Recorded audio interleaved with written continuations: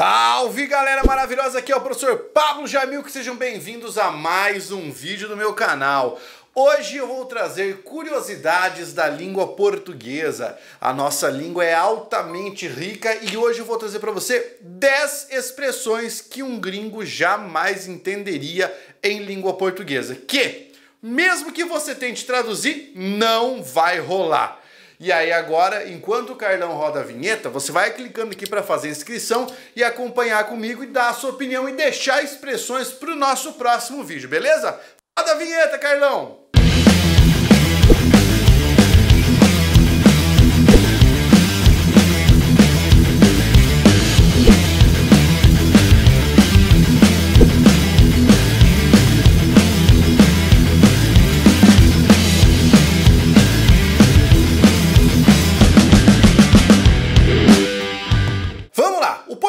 Uma língua extremamente rica, extremamente produtiva e nós temos várias expressões que são polissêmicas. O que é polissêmico? Poli muitos, não, não é sua amiga poli, poli, vários, e sema, nesse caso, de semântica, sentidos, certo? Vários sentidos. A nossa língua permite que consigamos várias expressões com muitos sentidos distintos. E aqui segue a lista das expressões que muita gente não iria compreender caso estivesse tentando aprender língua portuguesa. Tenta usar isso com o seu amigo gringo e vê se ele vai entender. Primeira delas, a palavra bolada. Bolada pode significar o quê? Pode significar o impacto com uma bola, pode significar a pessoa que está desgostosa da vida, está com raiva, está de cara, ali outra expressão, ou ainda pode significar uma grande soma em dinheiro. Então eu posso dizer: Maria levou uma bolada na Mega Sena. Maria levou uma bolada no meio da cara. Maria está bolada no trabalho.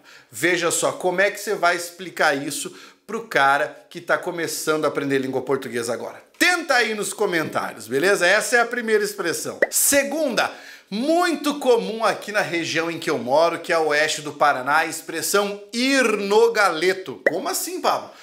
Foi no galeto para casa, ele saiu no galeto, ele vai no galeto. Cara, o que, que é isso ir no galeto? Significa ele foi rapidamente certo? E qual é a associação? Galeto é uma espécie de ave pequena, tipo um franguinho, e em tese é uma carne que você assa rapidamente ou que anda rapidamente. É essas associações que nós fazemos com uma espécie do comportamento. É quase uma associação metafórico barra metonímica. Ir no galeto é um som de ir rapidamente. Você já sabe de onde é que veio o galeto agora, que é aquele franguito. Beleza? Essa é a segunda. Olha a terceira, também muito comum no sul do Brasil, dizer que fulano levou uma tunda de laço. Levar uma tunda de laço. Porque o que acontece? Nesse caso, a palavra laço está significando algo como apanhar, e não o laço que a pessoa vai pensar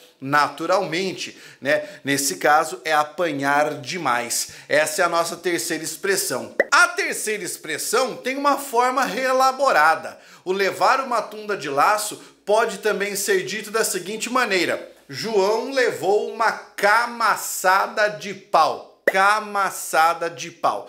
A palavra camaçada, caso você não sabe o que significa, significa uma série de golpes, uma surra Camaçada significa uma surra, uma sequência de golpes. Camaçada de pau, apanhar pra caramba. Outra muito comum também da nossa região, talvez você não conheça.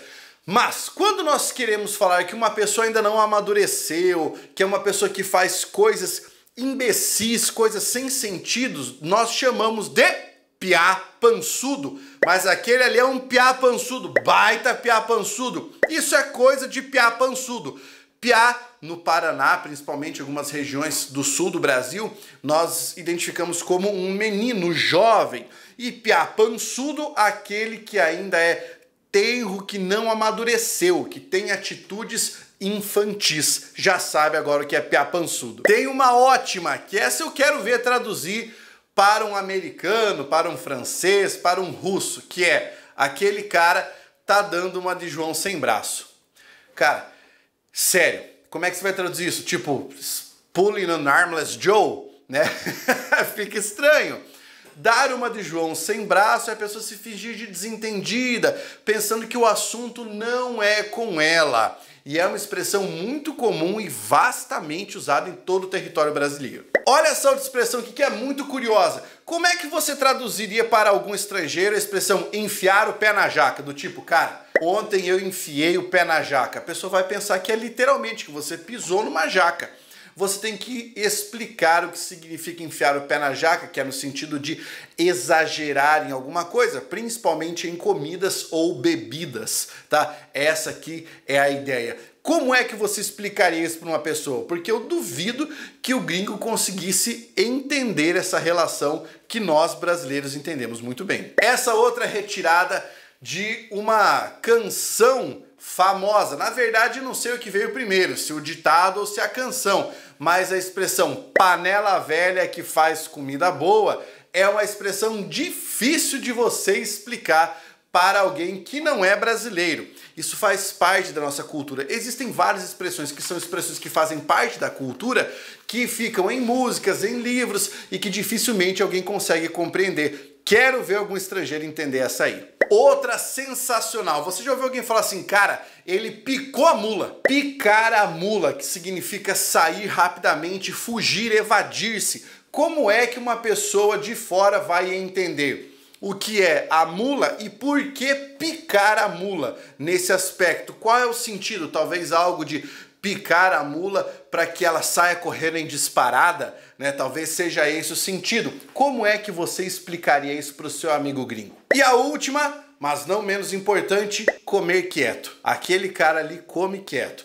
Aquele fulano aquela cicrana, aquela beltrana come quieto. Como você explicaria o sentido de comer quieto? Que é uma expressão altamente regionalizada e que possui o seu contexto de emprego. Essas 10 expressões eu duvido que um gringo entenderia.